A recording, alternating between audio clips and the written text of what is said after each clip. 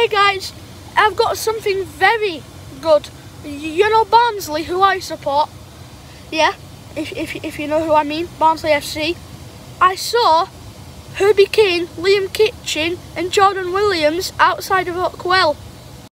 And I also met the Barnsley chairman.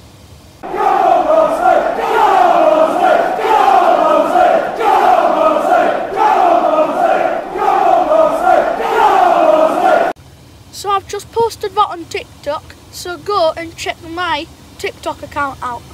It is Yorkshire Connor 01. You!